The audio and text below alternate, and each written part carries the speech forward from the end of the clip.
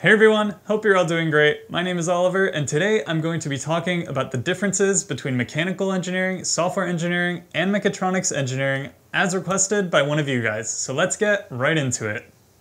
Now this is a very common source of confusion, especially those who are considering specializing in mechatronics engineering at a college or university. There are many similarities between these three fields and making the decision can often be tough and you'll get people telling you that mechatronics is a lot like software or it's the same as mechanical or choose mechatronics if you want a bit of both. So my goal today is to clear up all of this confusion and make sure that you know exactly what you're getting yourself into when you choose a specialization.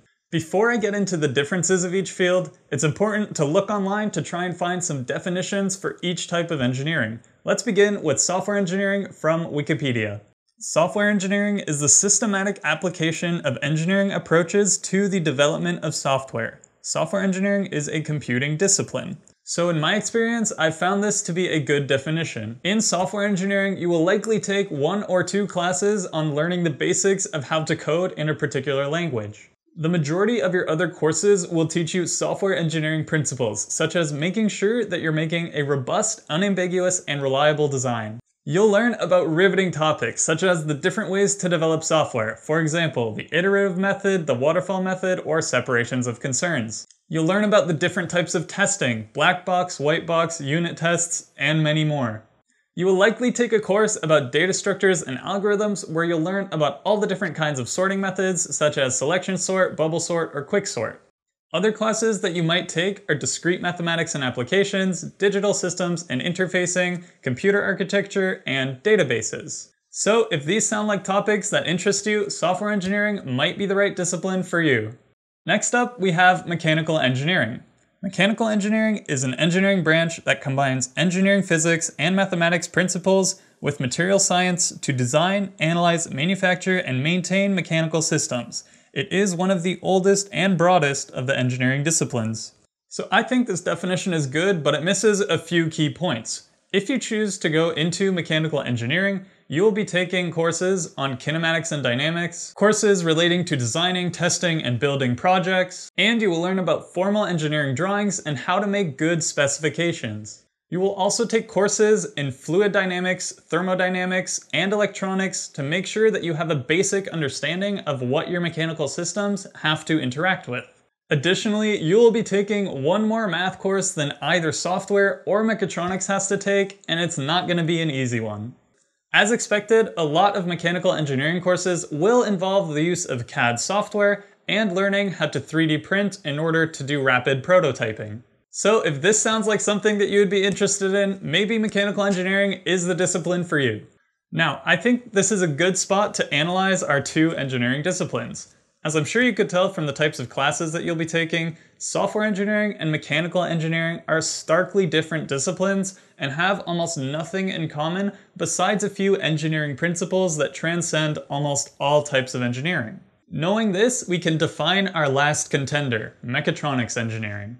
Mechatronics engineering is an interdisciplinary branch of engineering that focuses on the engineering of electronic, electrical, and mechanical engineering systems and also includes a combination of robotics, electronics, computer, telecommunications, systems, control, and product engineering.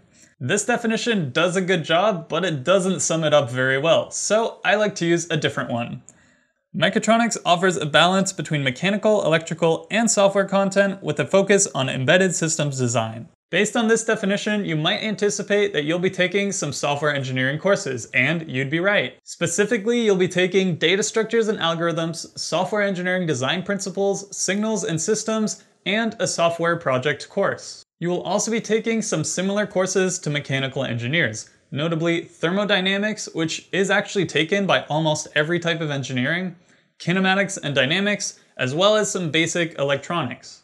Mechatronics engineering also pulls content from other disciplines. You'll take courses on electricity and magnetism and analog and digital circuits, which are more traditionally computer engineering or engineering physics courses. Now that we have all of those out of the way, we can get into some of the independent mechatronics courses. Since mechatronics engineering often focuses on embedded systems design, you'll be taking courses on embedded systems which bring together the software, hardware, and circuits courses to allow you to make something really cool. These courses are often lab courses that look a little something like this. In your final years, you might take one or two more courses specifically relating to mechatronics physics and robotics. It's important to note that some mechatronics programs might be more heavy in software, mechanical, or electronics components depending on your school. So make sure to do your research on the upper year courses of your program for the specific school that you're interested in. So as you can see, mechatronics kind of likes to take from wherever it pleases. But it also has its own core courses and in many engineering roles, taking a multidisciplinary approach is much more effective than taking a tunnel vision approach when you're solving a problem. And this is where mechatronics engineers can really shine. So now that we've seen some of the differences in the educational components of the program, how do they differ in the workplace?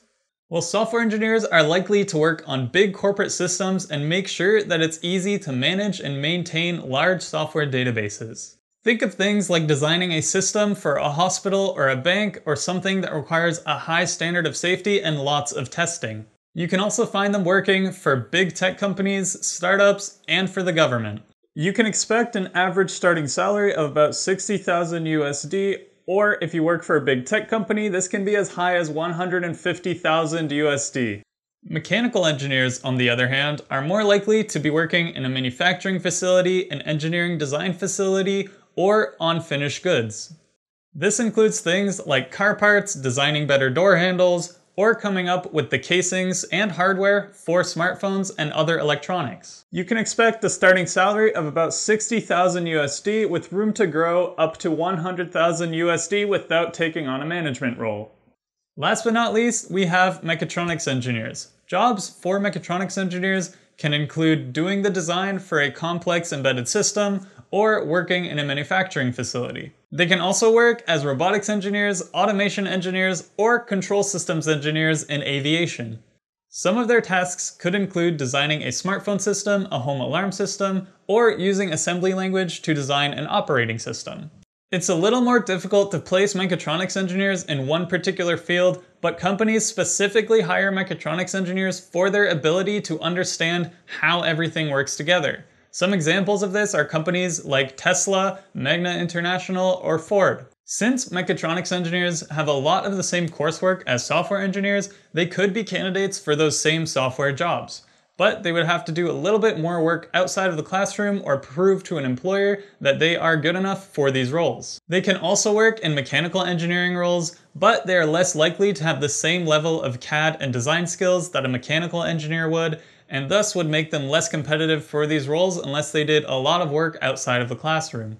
Depending on where you choose to work as a mechatronics engineer, you can expect a starting salary of $60,000 with room to grow in the same way as software engineers. However, you are more likely to see a mechanical engineer and a mechatronics engineer working together on the same factory floor on a different part of a complex system. So, in conclusion, since mechatronics engineering is a little bit of a newer field, it is a bit more broad than either software or mechanical engineering. But as we are seeing today, many systems have multiple layers of complexity that require knowledge of three or more engineering disciplines, and this is where mechatronics engineers can really do their best. Check out this video I made for a more detailed look on what mechatronics engineering is. Thank you all so much for stopping by to watch this video. If you found it useful or liked the video, be sure to leave me a like down below. If you want to see more of this, be sure to subscribe to the channel and click the bell icon to be notified whenever I upload a new video. And don't forget to leave me a comment telling me what you think I should cover next time. Hopefully you found this video useful. If you know somebody who's considering any of these engineering disciplines, be sure to share this video with them if you think they'd find it helpful. Thank you so much for watching and I'll see you next time.